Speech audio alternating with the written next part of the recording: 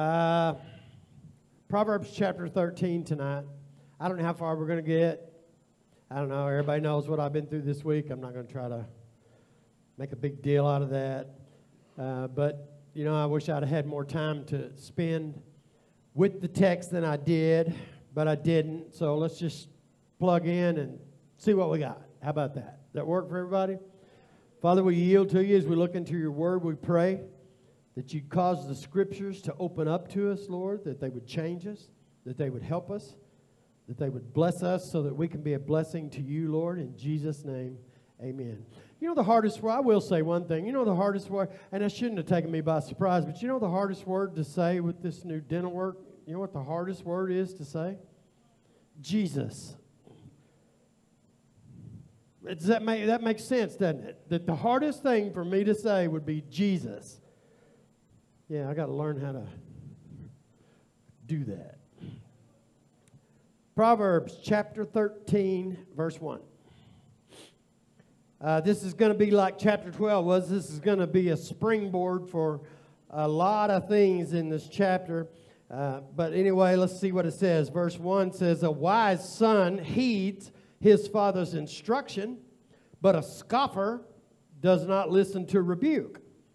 Now, now that works, and that has a lot of meaning. And that's good to learn from. That's good for correction and all the things that Paul told Timothy. It's good, just like it is. But that's really not what that says in Hebrew. And, and, and, and, and look, I'm, I'm not saying that I'm some expert or whatever, and I could be off a little bit on this, but the nearest that I could come to what's being said in Hebrew here was that you, did you notice that heeds is in italics? Or, or whatever your NASB says, that you notice that word's in italics? So that got me curious. So I got to hunting down to see what was actually said in Hebrew, and it is a, or the son of wisdom is born of his father's correction. Now look at the contrast. The contrast is, is that in contrast to that, okay, uh, the son of wisdom or the child of wisdom. In this case, it's talking about a male, but you know, we know the women didn't really count back then and all that, whatever. I'm not trying to get into all that.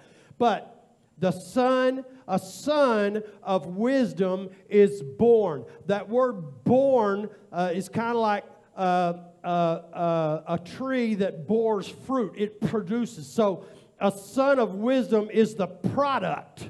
He's born, he's made, he's created, he's produced from his father's chastening, from his father's correction, from his father's teaching, from his father's instruction. Does that make sense to everybody? That's what's actually being said. And when I saw that, I got excited about this. I thought, well, that's something, that's more. And I like more. More is better. Contrast that, but a scoffer, everybody know what a scoffer is? Nobody knows what a scoffer is? I'm not asking you for the definition, but does everybody understand what a scoffer is? You should. You've all been one at some point in your life. I, ah, I don't, you know. Jesus saves. Ah, I don't believe that mess. It's kind of like a Harari gets on there. That, that, that, that, that, that Jesus stuff is fake news. That's a scoffer. One who goes against, discounts the Word of God, the good news of God, that God redeems, that God saves, and the person who, scoff, and I've done it. I wasn't interested, rejected it. I've done it in a lot of other areas too, did it today. Went to pick up the truck.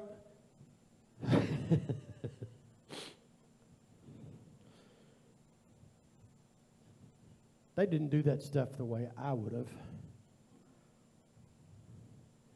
This is undone, that's undone, and that's not right, and this ain't right. And so I'm growling and grumbling. And I remember Brian's teaching this morning, and I'm like, wait a minute, man.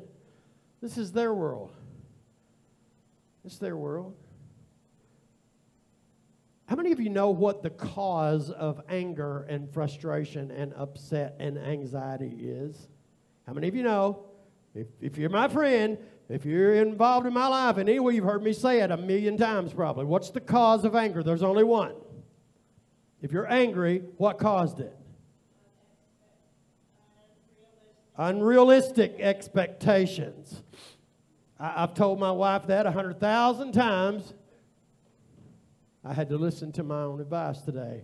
It took me to getting in the truck by myself and getting out of the crowd at Cracker Barrel before I started hearing the Lord speaking to me. What are you doing? What is this all about? Why are you so upset? You've been in this place three years. Why would you think it would be any different? Because a wise son heeds.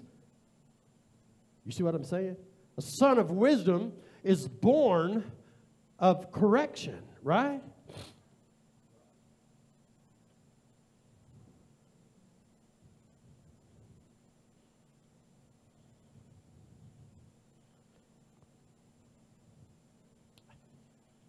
A man shall, verse 2, um, a man shall eat well by the fruit of his mouth, but the soul of the unfaithful feeds on violence.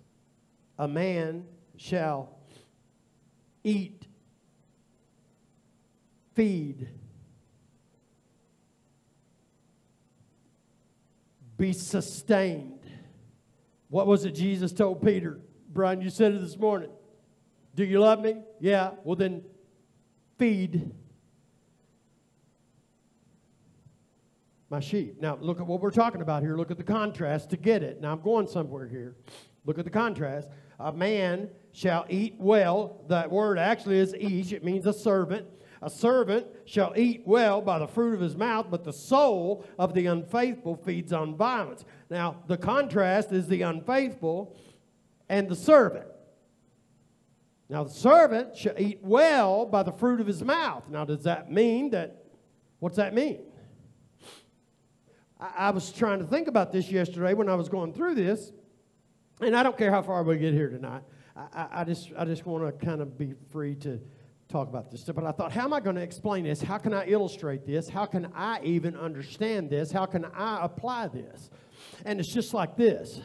I learned this principle when I was here at Calvary House that I needed to submit to authority. I needed to submit to the authority that God had placed over me, which at that time was Brian. But that I needed to submit to that authority so I could learn how to submit to the authority of God so that I could heed the correction of the Father and be the son of wisdom. Okay, okay, so so now we've grown and we've matured and everything like this, and it looks something like this. Okay, so every morning, uh, I, when I took this job over here, this is what the Lord gave me to provide for myself, and every morning I'm expected to call in, tell them where I'm at, then I'm going to go say I'm, I'm midway. I'm going to go. I'm going to unload the freight. I'm going to unsecure the freight. I'm going to unload the freight. I'm going to get the paperwork signed. All these are my responsibilities. Now, I can call in with an attitude, and I have. Now, how much more prone do you think that the person that's in charge of giving me my productivity is going to be willing to give because they got loads on the board here and they go, this is the best one and this was the worst one, and they range in motion. And if I call in, doing? But I'm the scoffer. That soul feeds on violence. I'm moving down that board. A man will eat well from the fruit of his mouth. Okay, let's take this somewhere else. From the overflow of the heart, the mouth speaks. What's coming out of the mouth is from the overflow of what's in the heart. Jesus said, if the light in you is good, then it'll change the way that you see the world around you. It'll also change what's coming out of this trap and so, by the fruit, by the produce, by what's coming out, by what's flowing, overflowing from my heart, if the light in me is good, then it's going to be better coming out. I can eat well, I can feed well, I can be sustained well by that if my heart is good. Now, pause. Let's get realistic here. Glenn David, if you've been anywhere near my family in my life, you know what it means when you hear both those names. Does not have a good heart. But Jesus got a hold of my life and he won't let me go. You see what I'm talking about? If the light, if the light of the world has come into your heart and that light is good from the overflow of that, you'll speak and from the fruit of that, you'll eat well. But the soul of the What's your NASB say, Brian? Uh, three, I think. Uh, two, two. But the soul of the the the desire of the treacherous. Mine says the soul of the unfaithful. Unfaithful uh, one of the manifestations of the fruit of the Spirit, which is love, is faithfulness. In Greek, eh, which is what the New Testament is written in, faith and faithfulness are the same word, they're interchangeable. A person of faith should be a person of faithfulness. And I'm not just talking about to churchy things or religious things or that kind of thing. I'm talking about in everything because if the light in you is good, then you'll eat well by the fruit of your mouth. But if your soul is unfaithful, then Proverbs is telling us that that soul is feeding on violence. Jesus told us that, uh, that, that, that, that in the last days it would be like the days of Noah when God said the heart of man was wicked every day, and because of their violence in the world, he was going to destroy it. Does anybody strongly disagree that we're working back towards that again? Do you see that prophetic statement of the Lord happening in your midst? If your soul is not feeding faithfully on Jesus, on the gospel, on the good news, on the word of God, if we're not that son that's born of wisdom, the heeding the Father's instruction, if we're not born of that instruction and being faithful to that instruction, if we're not heeding to that instruction, if you reject love, what's left? If you reject peace, what's left? Violence. It's their world, right? You have one hope of getting out of their world. His name is Jesus. I'm practicing. Jesus. Jesus, Jesus, Jesus. That's the hope of being redeemed from this fallen world where their souls are feeding on violence. I'm not judging, pointing fingers. I've lived that way more years of my life than I have living faithfully for, to the light. But we will feed on the violence if we don't feed on the light and on the peace and on the joy that's promised through the provision of the cross. We need to get this. We've dismissed this. We've winked at it and shuffled our feet at the Word of God for all of our whole lives. And generation after generation after generation have discounted the truth of Scripture. We haven't heeded our Father's instruction. It's not sustainable.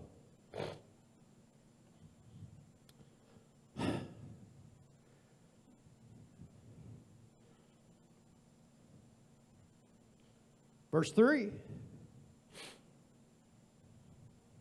He who guards his mouth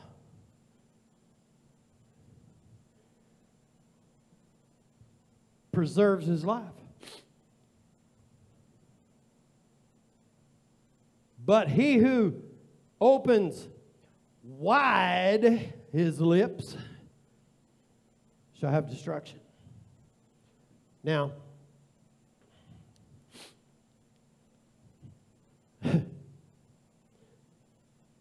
This doesn't mean that we should be quiet and sit on a bench over here with our bag packed waiting on the rapture doing our bible studies in private and not and not speaking out the truth the gospel message the hope of the world. It doesn't mean keep your mouth closed guard your mouth. How do you guard your mouth? This he said it he said it jesus said it in john chapter 3 uh, he who believes is not condemned, but he who does not believe has been condemned already from the Garden of Eden because he's rejected the light. The light's come into the world. If you reject the light,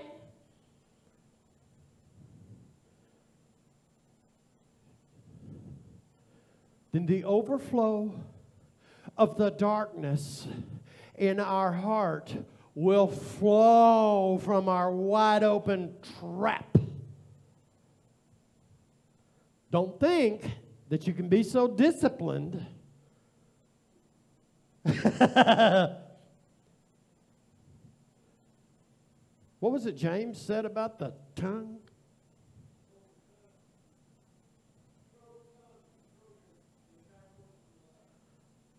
It's full poison. Like a big ship has a tiny rudder and it decides where the big ship I got a big ship here. Ship's getting bigger.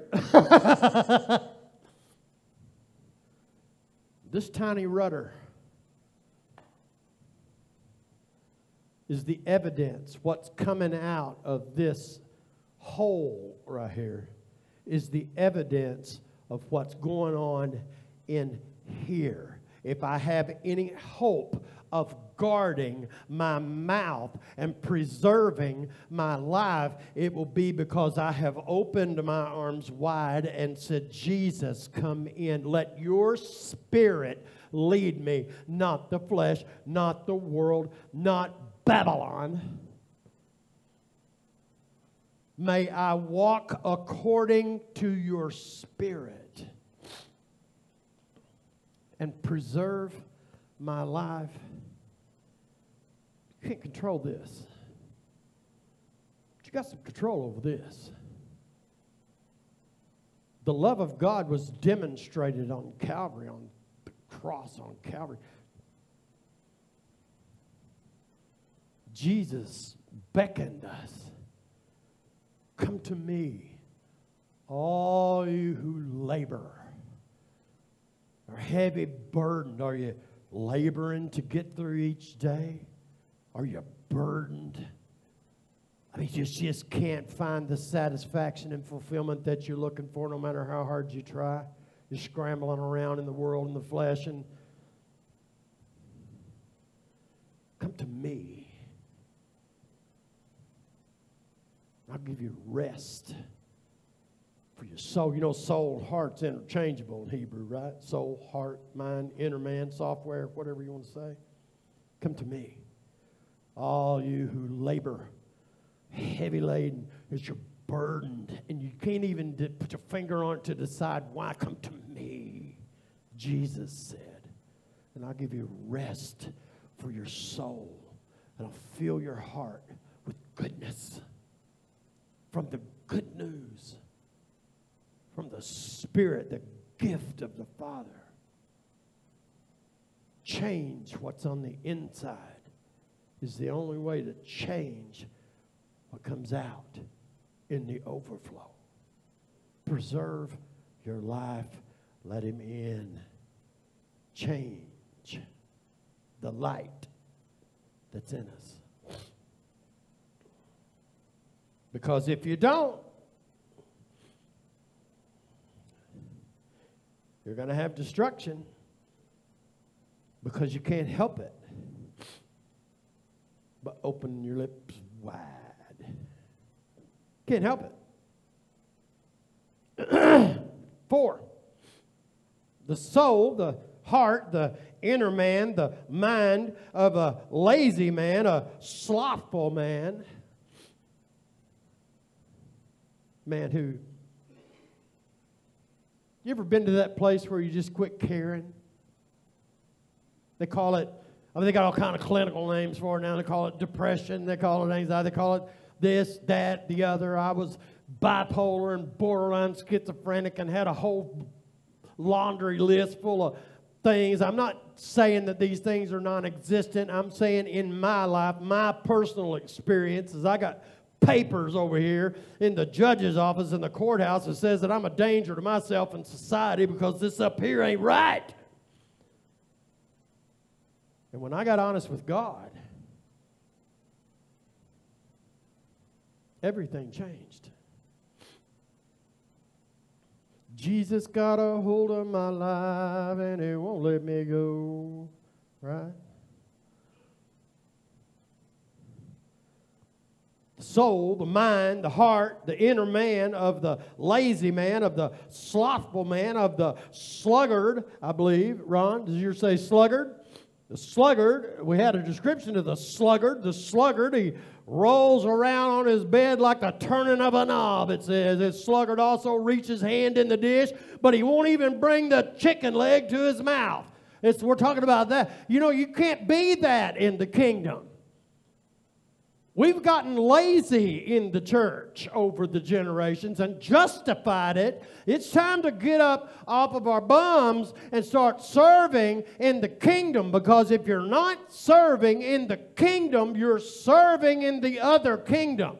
Jesus said, if you're not for me, you're against me. Not much gray area in that. The soul of the slothful man, of the man who don't care, of the man who's done gotten depressed, of the man who's not interested, the man who is, what's the word I'm looking for?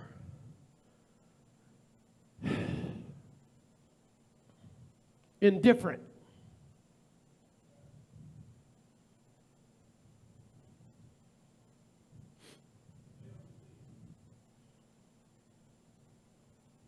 It desires and has nothing. I, I, I wanted and I wanted and I wanted and I wanted and I chased and I pursued and I tried this and that and this and that and I tried to medicate the pain of it away and all. I ended up with nothing. When I came here, that didn't immediately change. I finally had to had to get a little revelation from the Lord that there was one thing that's not going to change, and that's that I'm never going to stop wanting. I got to be satisfied with wanting. Because my flesh is going to want and crave and desire and long for and scream for and holler for. I want this, I want that, I want whiskey, I want dope, I want sex, I want whatever. Duly noted. Now sit down over there and shut up. Desires has nothing. There's no satisfaction. There's no fulfillment to be found in the heart of the person who has rejected the only hope there is in this world. What's his name?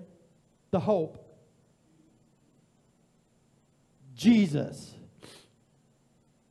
I'm going to keep saying it until I get it right.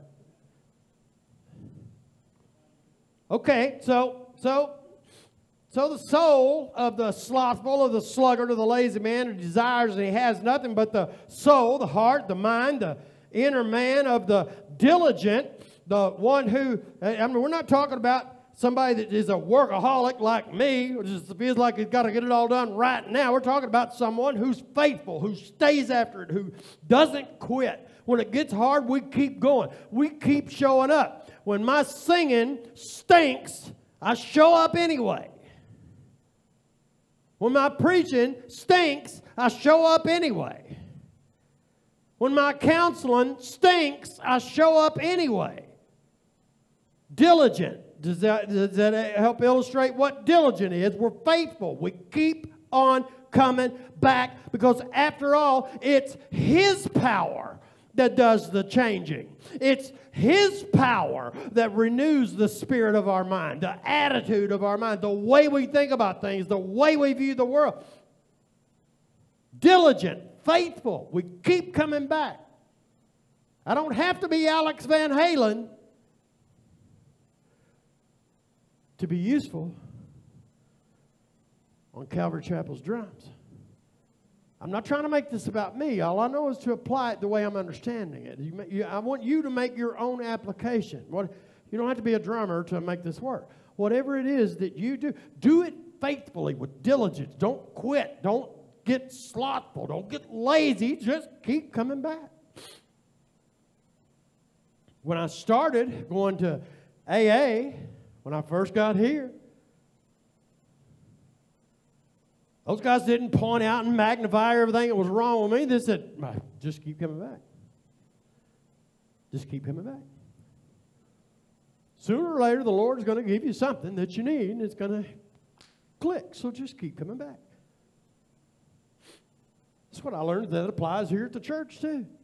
Sooner or later, the Lord's going to give you what you need, and it's going to click. So just keep coming back. And that is diligence, and that is faithfulness. We don't, we, we, we've gotten really bad in this country about coming in the door of the church and we're going, eh, you know, you know, I, eh, I, I, don't, I don't know. It's not my preference.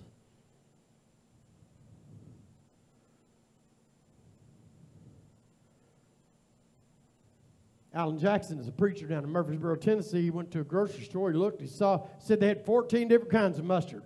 He said, The Lord gave me a revelation. I came to this conclusion that here in the United States of America, we're so spoiled we've forgotten how to be thankful. So self centered. I'm not trying to beat you up, talk bad to you. The kingdom of God is wooing us to be faithful, diligent servants who have what they need in their heart to guard the mouth and preserve our life, not for the here and now, not for a better outcome on earth, but for eternity in heaven so we can spend eternity with God. How many want that?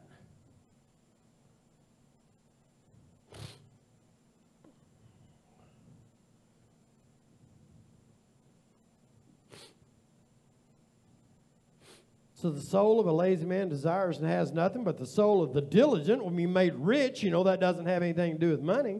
That word, actually, it means absolutely filled.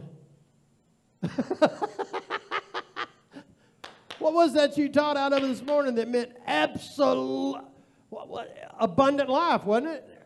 Absolutely filled to overflow it. Jesus said, I'll give you a good measure shaken, pressed down, running over, filled of life.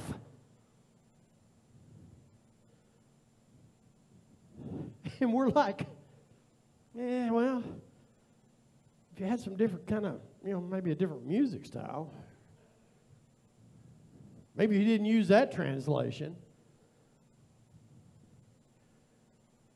I don't really like the way you say it. You're a little too loud for me. Yeah, you're a little too soft for me. Paul asked the Corinthians, Is Christ divided? One of you says, I follow Paul. The other says, I follow Cephas. The other one says, I follow Apollos. Is Christ divided? Come on, man.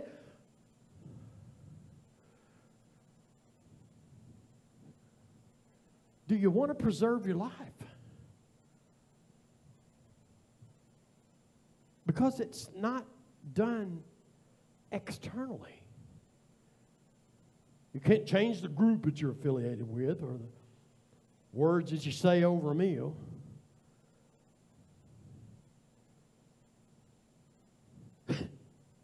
can't change the denomination.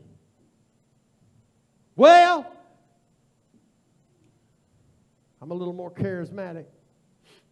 Okay, God bless you. The last time I checked, we're all serving the same kingdom.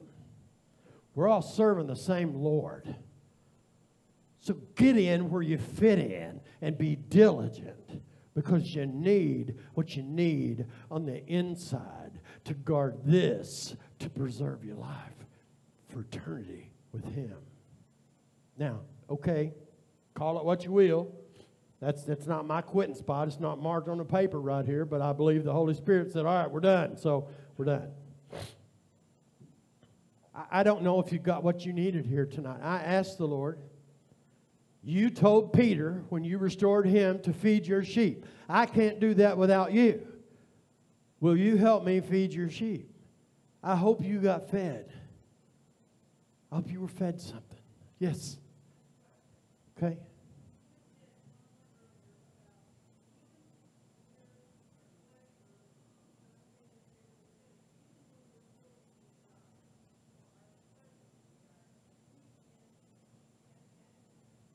Yes. Yes. That's what I was talking about about I had to get satisfied with wanting. Because the satisfaction is not found in the things that the flesh desires. The satisfaction is found when we let the light in. Good point. Thank you for Thank you. Anybody else? Well, I thought I just did. You want more?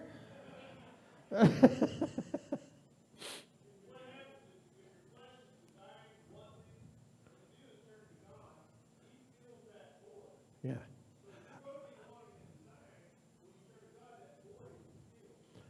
Well, Paul said it in the Galatians. He said, Walk according to the Spirit, and then you won't fulfill or carry out the desires of the flesh. There's a division there, there's a hostility, there's a conflict there. I'm so used to hearing what my brain and my flesh, the immoral part of me, wants, and I've chased that for so long that it's a lot more familiar to me. And so, like Brian said, what I need to do when I got these wantings, these longings, these cravings, and these things, and I know that doesn't line up with the Word of God, what I do is turn to God. And I said, Look, I'm, I'm, I'm, I'm, I'm, I'm needing something here. I'm craving something here. I know by experience that these things won't satisfy me. They won't give me the fulfillment that I'm looking for. So I'm asking you.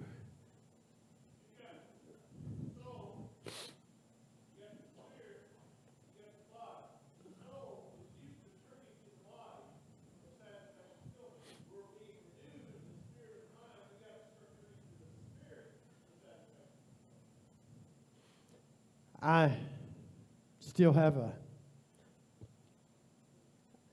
If I think about it just for a few minutes, I can drum up the taste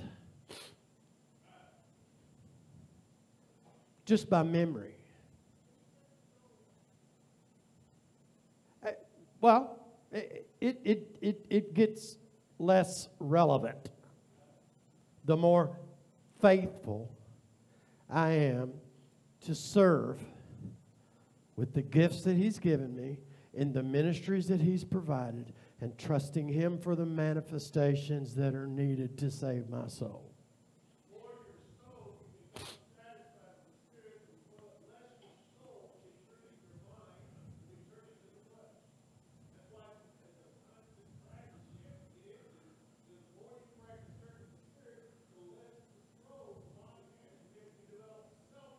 Yeah, diligence. Walk, be diligent, faithful, walking according to the Spirit, not the flesh. It's not comfortable at first because I'm used to this. But I got to get used to this. I got to be renewed in the spirit of my mind so that I can find true satisfaction and fulfillment. I wish I could tell you that I've arrived, but I haven't but I'm learning. I hope we're all learning to be diligent, choosing. I said that pretty good. Choosing the Spirit rather than the flesh. Uh, does that help? Did, did you get what you were looking for? I we ganged up on you, but okay, okay. All right, cool. So let's pray, sing one last song. And let's get out of here a few minutes early tonight. What do you think? Heavenly Father, thank you, Lord, for this family that you've given us. You've blessed us abundantly. Yeah. You've given us hope, you've given us joy, and you've given us peace, you've given us satisfaction and fulfillment. You're renewing the spirit of our minds. You're You're changing us from the inside out. You're allowing your light to fill our hearts, cast out the darkness, Lord. And we praise you for it here tonight. We thank you for it here tonight, Lord. It's our hope. It's all we have in this world that gives us hope. And we pray that the light that has entered into our hearts will rise, that the glory of the Lord will rise up among us. And we're going to sing about that in this last song. And Lord, we praise you and we thank you in Jesus' name. Amen.